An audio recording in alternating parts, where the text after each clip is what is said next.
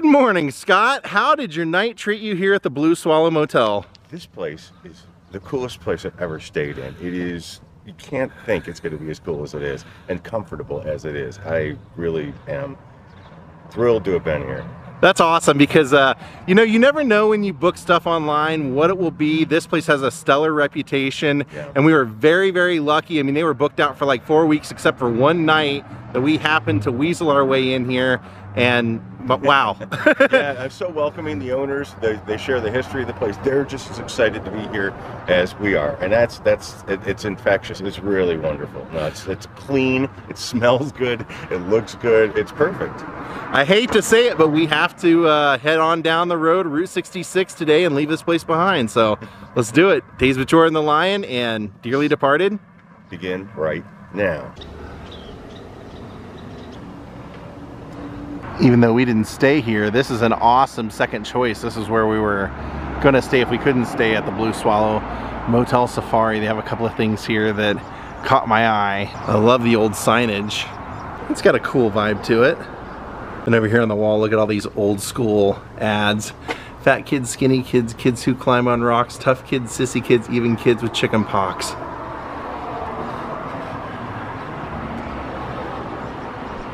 How about a nice Hawaiian punch? Pa likes the cream, Ma likes the jar, both like the price, so there you are, Burma Shave. Then over here, this is a funny one after the uh, Cracker Jack. You got more Dr. Smoke camels than any other cigarette. I'd walk a mile for a camel.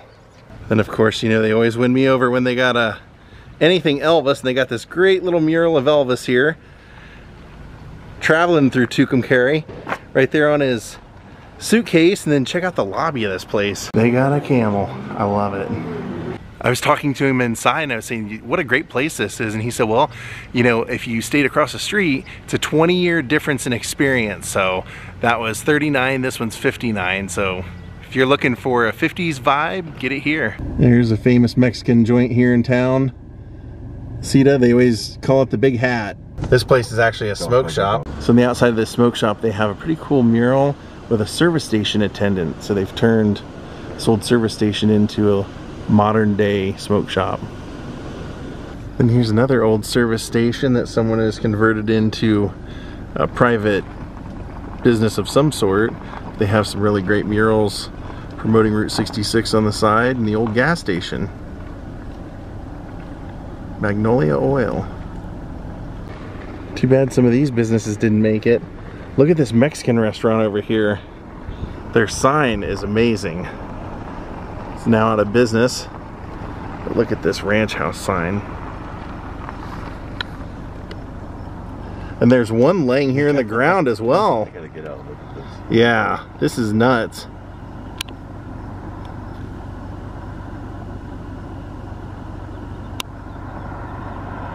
Looks like it's full of stuff.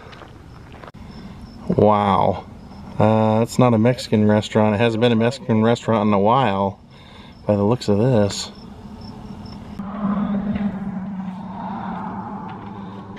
Oh, this is cool. Look at this old Esso station. Put a tiger in your tank.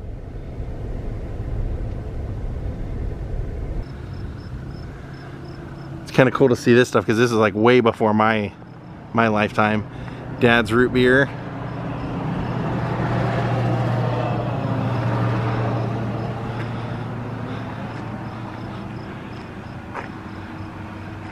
This is very cool. Like a little happy motoring guy. Elephant kerosene.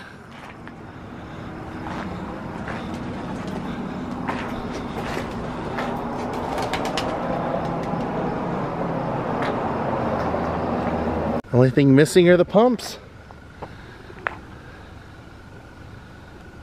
Parking lots are a little overgrown here in Tucumcari. They have a really great Route 66 museum I was reading about online, but it's not open yet, so we're not gonna see it today, but this is a must-see coming through here is the Route 66 sculpture in Tucumcari. That thing is awesome, look at that. Huge too. Freaking huge. All right, it's time to head out of Tucumcari or Tucumcari and head on down Route 66. Holy cow, a freaking Radio Shack. Huh. Never thought I would see one of those again. I just can't help myself with all these old gas stations. I know it's probably getting a little bit obnoxious at this point, but these are all places I never got to see in my life. And so to see that there's a little bit of an homage to them, I love it. You even got the, uh, the guy waving us in. This could be somebody's house for all I know now. On the outskirts of town here, you got a trading post, which looks like Mater hanging out front. Tow Mater. Here's an old shell sign.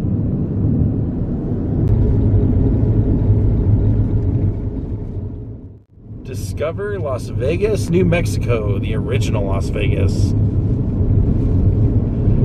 Heading into a place called Cuervo now. And eventually the nuttiest place in New Mexico, Pistachio Land, home of the world's largest pistachio. Cuervo looks like kind of another Glen Rio. Just a ton of abandoned buildings and destroyed property. I was asking Scott, I'm like, where's the church? And then we found it. I'll show it to you up here.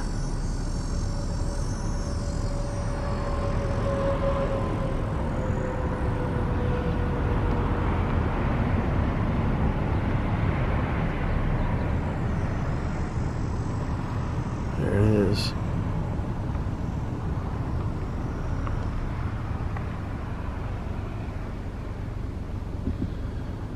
Wow. It's sad. There's like nothing left of this town. I mean, nothing.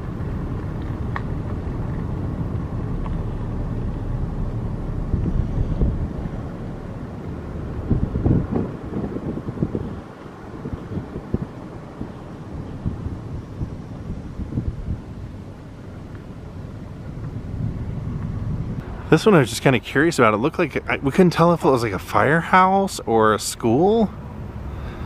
Looks like it says District 6th or something up there. Not really sure. Figured we'd take a look because the door's completely open.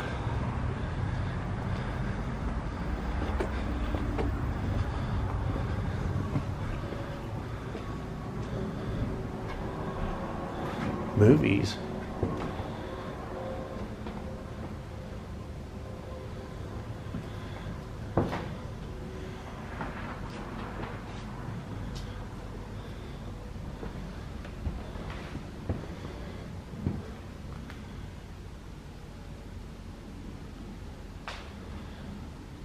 Looks like it was a music, books, I don't know, movies, some sort of store.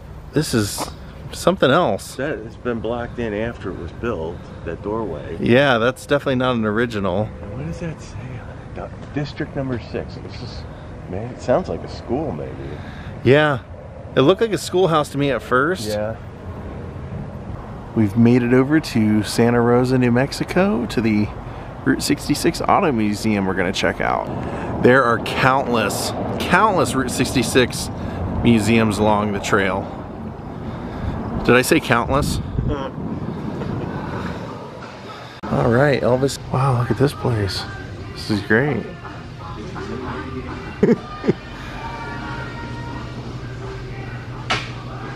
kind of digging this place. Interesting. All right. Did someone say auto museum? Beautiful.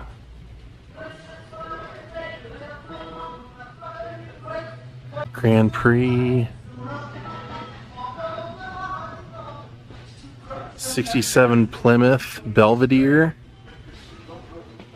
Now that's the kind of car you want to see in a Route 66 museum. Those wood panels. That is old school. Very old school. That's what you used to travel along Route 66 in the day. Not so much those, but those are cool to see too. Who doesn't love a good hot rod? Some cool cars here. 1929 Mercedes Gazelle kit car. 57 Buick four-door. Some beautiful cars here. 1931 Auburn.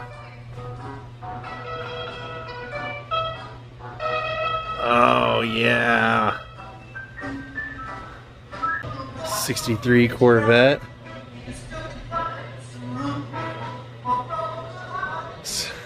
So it kind of looks like the Munsters car in a way, doesn't it? It's titled Lightning and Leadfoot. The front of the car totally reminds me of the Munsters car, though. Cool car.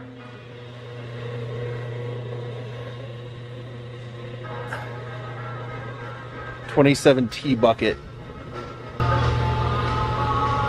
Fifty-seven Chevy. Oh. 1970 SS Chevelle. James Dean in the uh, phone booth. Club Cafe. Oh, that's beautiful. By the old Texaco. King, Richard Petty. Wow. Cadillac. Oh, neat. 1979 Datsun. I did not expect to see this in here. It's kind of cool. Something different. Max Garage.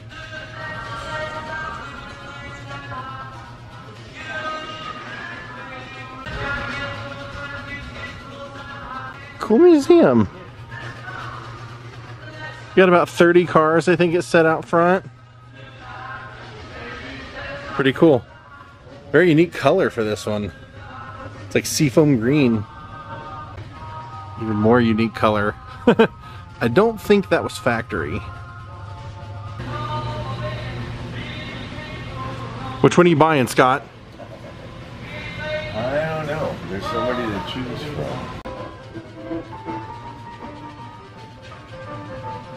Cool. We just ran into a guy and his girlfriend in here and he said, I'm from Australia and we don't have any of these cars here. I'm just mind blown. I love the old 7-Up machine. Isn't that great?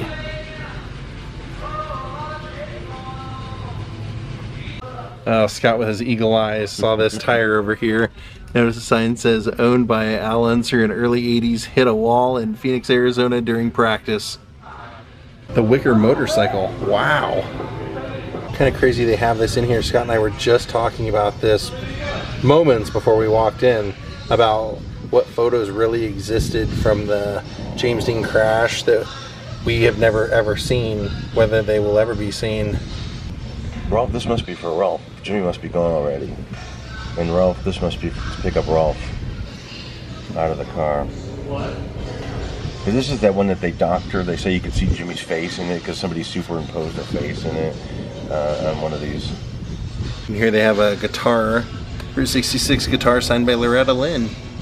This is a fun little stop, but uh, don't forget to look around the parking lot because you might see something you've never seen before, like this. What is this? Bulldozer, taxi, Cadillac, police car? What the heck really is going on here? We got a backhoe. We got a seat to operate the backhoe. No, not that kind. I'm talking about the backhoe right here.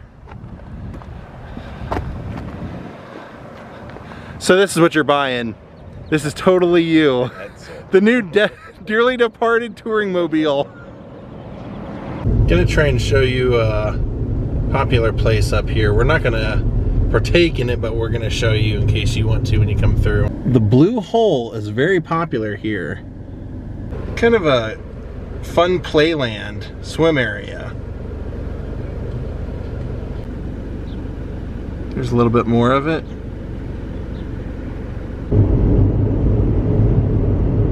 Well, my friends, we are going to call it a day. We will see you tomorrow from somewhere else. Have a great night.